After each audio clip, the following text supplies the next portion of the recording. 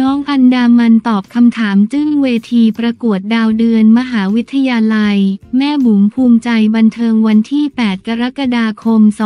2567 16นาฬิกา13 นาทีสมเป็นลูกนางงาม น้องอันดามันตอบคำถามจึ้งคว้ารองอันดับสามประกวดดาวเดือนมหาวิทยาลัยด้านบุ๋มปนัดดาสุดภูมิใจ เรียกว่าได้แม่มาเต็มๆทั้งความเก่งและความสวยสำหรับน้องอันดามันลูกสาวสุดน่ารักของดาราพิธีกรชื่อดัง บุ๋มปนัดดาวงผู้ดีหลังเข้าไปเป็นนักศึกษาของคณะแพทยศาสตร์ มหาวิทยาลัยกรุงเทพธนบุรีได้สำเร็จพร้อมกับลงประกวดดาวเดือนมหาวิทยาลัยเป็นครั้งแรก งานนี้แม่บุ๋มเก็บภาพความสวยของลูกสาวในแบบที่ตัวเองเพิ่งเคยเห็นเป็นครั้งแรกมาฝาก พร้อมแคปชั่นว่า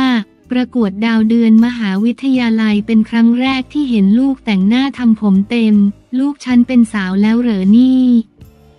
บนเวทีดูเป็นสาวพอรู้ว่าแม่มา ที่จริงแอบมาดูตั้งแต่เริ่ม อ้อนเลยจ้า จากนั้นบุ๋มปนัดดาได้มาอัปเดตผลการประกวดปรากฏว่าน้องอันดามันคว้ารองอันดับสามมาครอง ก่อนจะแซวลูกสาวเรื่องตอบคำถามที่สมเป็นลูกนางงาม ว่า น้องอันดามันได้รองอันดับสามค่ะเย่เยพี่ชายแฮกถามว่าถ้าหนูไม่ได้รางวัลในวันนี้หนูจะรู้สึกยังไง น้องตอบว่าถึงหนูไม่ได้ แต่เพื่อนหนูก็ได้ ดีใจกับเพื่อนด้วยค่ะ ลูกนางงามชัดชัดห้าห้าห้าท่ามกลางแฟนๆที่เข้ามาชื่นชมทั้งคุณลูกและคุณแม่มากมาย เป็นสาวแล้วจริงๆ สวยมากๆด้วยค่ะ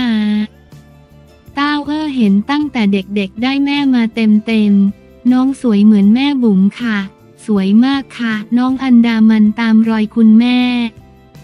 ยินดีเป็นที่สุดเลยค่ะ ว่าที่คุณหมอคนสวย และอื่นๆใช้แววขนาดนี้ไม่แน่ว่าอนาคตประเทศไทยอาจจะมีนางงามดีกรีคุณหมอที่ชื่อ อันดามันก็เป็นได้ขอบคุณที่มาไอจีบูมปานาดด้า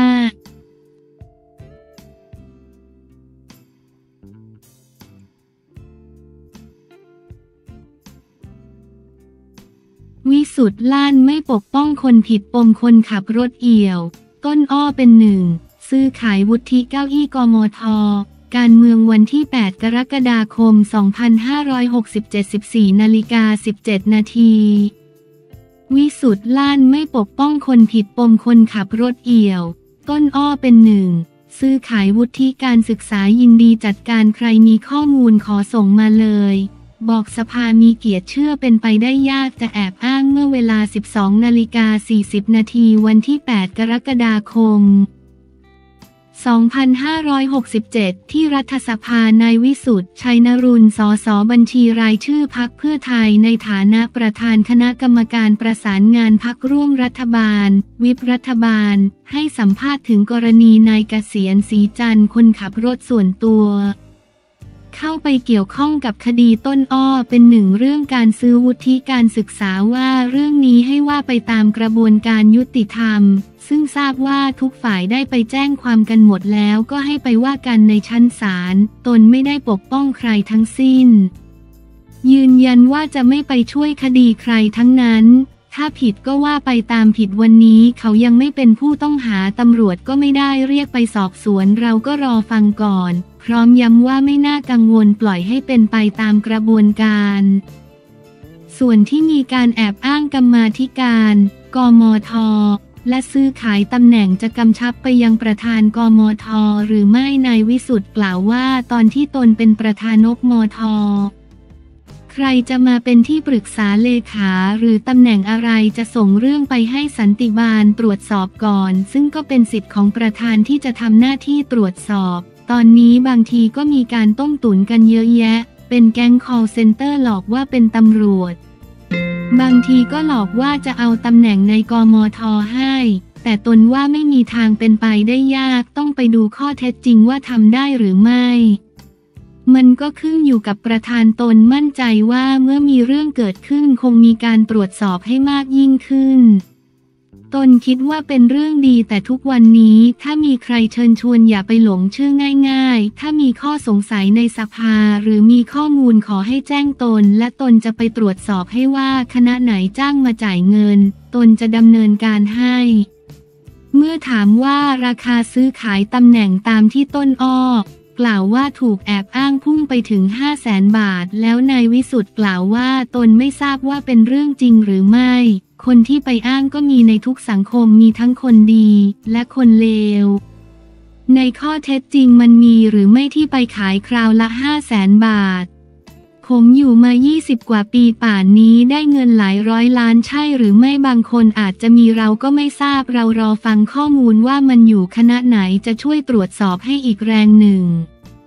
จะติดตามให้ว่าใครใครที่มาเป็นกมทแล้วต้องจ่ายเงิน ใครช่วยมาแจ้งผมอยากรู้ว่าใครทำจริงหรือไม่ นายวิสุทธ์กล่าวนายวิสุทธ์กล่าวว่าสภามีเกียรติเข้ามาไม่ง่าย ฉะนั้นใครทำอะไรไม่ดี รอบต่อไปก็เตรียมตัวได้ไม่ได้มาเป็นอีกแล้ว ตนก็ยังไม่เห็นว่าเป็นกมทก็ยังไม่ได้ประโยชน์อะไร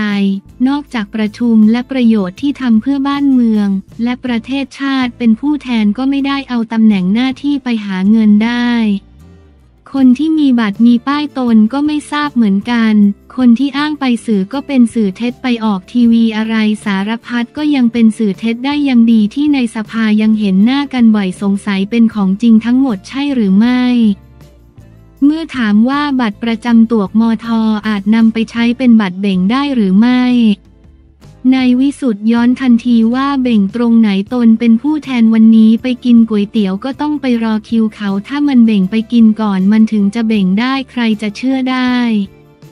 คนเดี๋ยวนี้มันฉลาดมันทันกันหมดการจะไปอ้างมันไม่มีประโยชน์ใครที่ทำตัวใหญ่เกินมนุษย์ ไม่มีใครยอมรับสังคม เขาก็ประนามอยู่แล้วตนไปซื้อของก็ต้องเข้าแถวไม่เคยไปแซงเขาได้ แล้วบัตรเบ่งก็ไม่รู้ไปเบ่งอะไร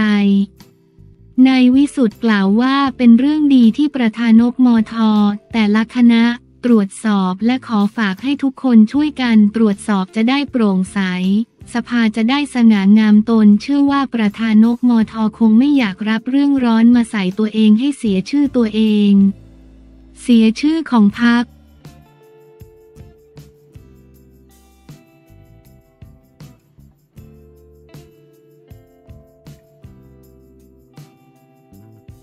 สแตมอภิวัตโชว์ประสบการณ์ระดับโลกผลงานร้อนแรงในศึกชิงแชมป์เอเชีย กีฬาวันที่ 7 กรกฎาคม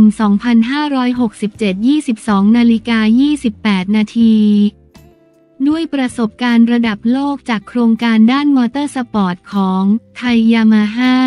ส่งผลให้ แสตมป์ อภิวัฒน์ วงศ์ธนานนท์ได้สัมผัสการแข่งขันระดับ World Class ทั้ง Moto3 World Championship และ World Supersport แชมเปี้ยนชิพส่งผลให้นักบิดชาวไทยแข็งแกร่งขึ้นอย่างมากในทุกๆด้าน โดยในฤดูกาล 2024 แสตมป์ อภิวัฒน์เข้าร่วมสังกัดยามาฮ่า Tekhne Racing Team เอเชีย และสร้างผลงานสุดร้อนแรงในศึกเอเชีย Road Racing Championship ด้วยการรั้งจ่าฝูงบนตารางคะแนนสะสมของรุ่น Supersport 600ซีซีจากการคว้าโพเดียมได้ร้อยเปอร์เซ็นต์เต็มใน 5 race แรกของปี แสตมป์ อภิวัฒน์ผงาดคว้าชัยชนะมาครองได้ถึง 3 race และซิวอันดับ 2 ได้อีกสองครั้ง นั่นคือผลงานระดับ master จากประสบการณ์ และทักษะที่บ่มเพาะอย่างต่อเนื่อง และแน่นอนว่านักบิดไทยเจ้าของหมายเลข 24 อยู่ในเส้นทางลุ้นแชมป์เอเชียอย่างเต็มตัว ขณะเดียวกัน สแตมอภิวัตยังคงเดินหน้าสร้างสถิติอย่างต่อเนื่อง ด้วยการร่วมทีมยามาฮ่า TNTPTT Lubricant คว้าชัยชนะ 2 เรสติดต่อกันในศึกแพลน B Media BRIC Superbike Championship 2024 และรังจากฝูงบนตารางคะแนนสะสมพร้อมกับความเร็วที่ไม่มีคู่แข่งเข้าใกล้ได้เลย นับเป็นหนึ่งในความสำเร็จของไทยยามาฮ่ากับโครงสร้างการพัฒนานักบิดไทยด้วยการส่งเข้าร่วมการแข่งขันระดับ World Class อย่างต่อเนื่องซึ่งเห็นผลอย่างชัดเจนจากคุณภาพของนักแข่งรถชาวไทยในสังกัด Yamaha Thailand Racing Team นอกจากนี้ ทีมไทยในศึก World Super Sport World Championship ก็พัฒนาขึ้นแบบก้าวกระโดดในเวทีระดับโลก ที่ปัจจุบันมี ตี อนุภาพซามูล และนักบิดเลือดใหม่ ไอเดีย กริตพัฒน์เขื่อนคำช่วยกันสร้างทีมร่วมกับบุคลากรชาวไทยของทีม ซึ่งมีความมุ่งมั่นอย่างมาก ในการก้าวสู่ทีมแนวหน้าของรายการแข่งขัน